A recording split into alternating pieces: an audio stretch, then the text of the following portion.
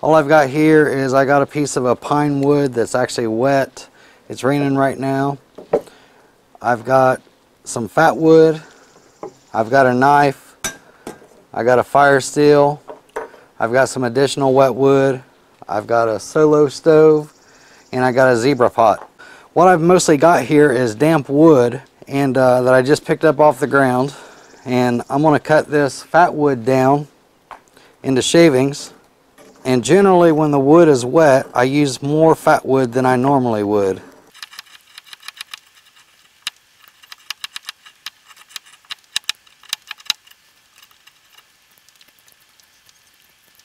I probably got fat wood everywhere except for where it needed to be.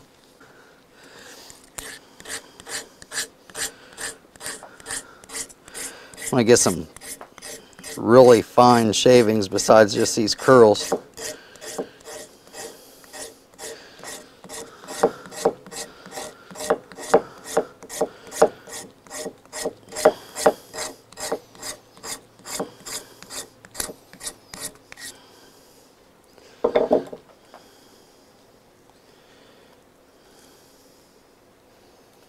I got to be almost careful not to touch anything too because literally my hands are sweaty. It's just miserable out. Been in like the high 90s most of this week.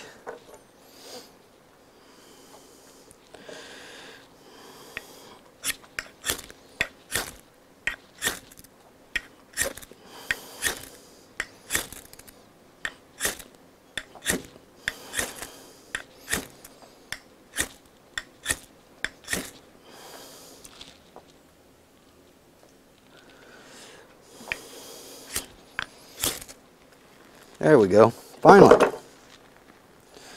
So now that that's burning, we'll get this in the stove. Hopefully it actually makes it in the stove. Get some of our wood in here.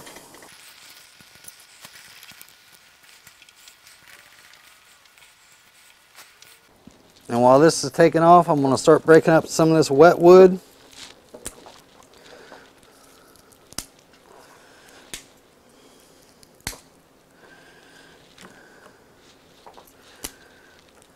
Which is also looks like pretty rotted.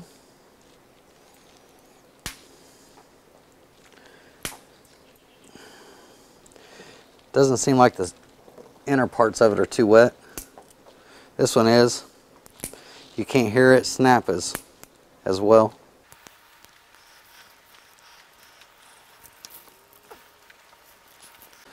But the idea is that we're actually using the heat from the fat wood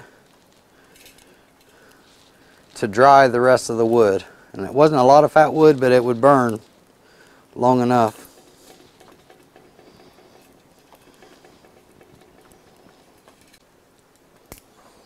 I, I started on this same video last night and literally got, while I'm doing the video, I had a sideways rain coming in. while I was, had the fire was starting to build up in the stove and the sideways rain was coming in.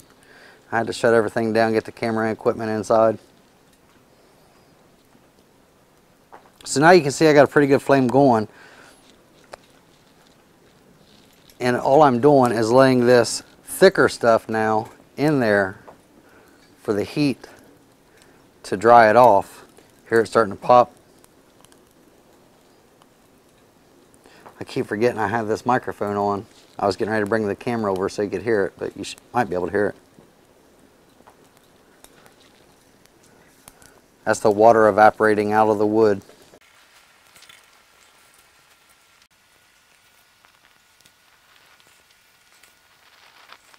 Yeah, that wood's actually a lot wetter than I thought it was. But we're going to make it work. This is just like if we were out here camping right now. If you had to have a fire, it don't matter if your wood's wet or not. You got to figure out a way to make it work. I actually got a watch blow on that, and because my beard.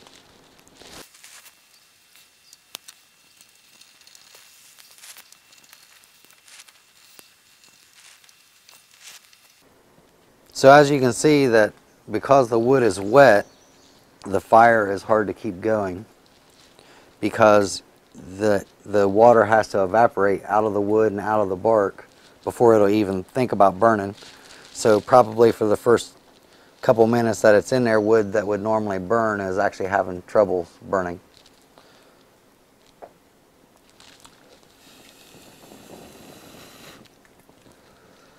And by adding more oxygen, I'm, I'm feeding the fire basically and encouraging it to, to burn better. And you can tell that once, once most of the water evaporates, then it stays pretty much going on its own. Now if I add more wood to it, it'll start dying back down again because the wood's wet. So the flames now are pretty much on this half because that's where the fire was already going at. And then this half where I've added the new wood, there's no, no, no flame at all. There is some white smoke coming off of it and you can kind of hear it hissing because the wood's wet. But as soon as I shove some more wood in here, I can take and add some oxygen to it and it'll come right back usually.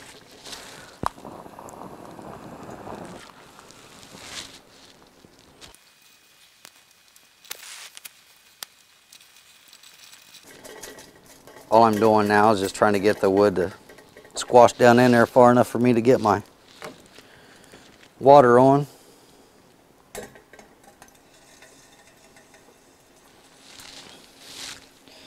And I can still feed it through this window on this side or take the pot off and add more wood.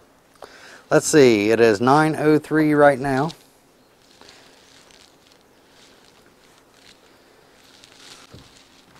Probably could take the camera over there closer so you guys can see better. Plus it's starting to get nighttime. The sun is going down quickly. You can kind of see here, I will go ahead and show you that it is definitely raining. That's the water you see on my patio here. And then you can kind of see that the paint there on the left is wet and on the right is dry. Now that it's not actually raining, we can have it out in the area that's not covered.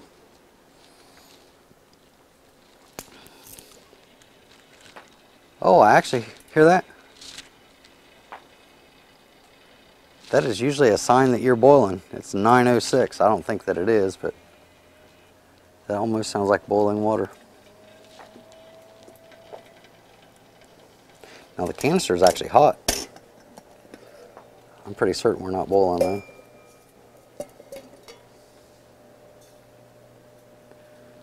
Uh, I do see some steam, but not boiling. I've got two of these. So I've got, uh, I, I buy nearly everything in twos or threes. And the reason being is because I generally keep a kit in my car, truck, my ATV, not counting a kit that I generally have at my house. But um, I've got two of these. And at one time I was going to buy, you know, enough for each of my kits. But in all honesty, I mostly use the solo stove with just the normal 900 uh, liter milliliter cup. This one, which is a lot smaller as you can tell. It's uh, 30 ounces.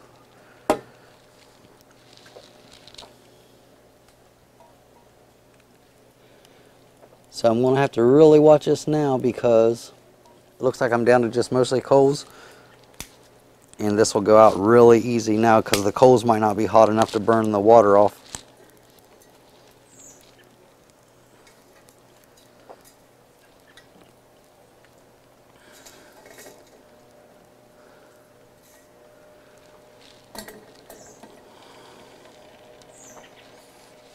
But anyways, the other one I've used a billion times.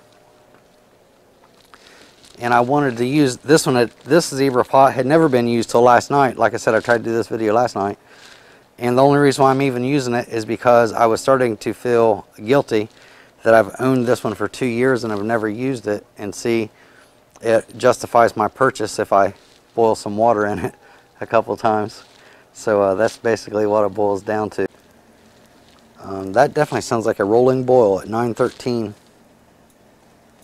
And I see steam coming out of it too.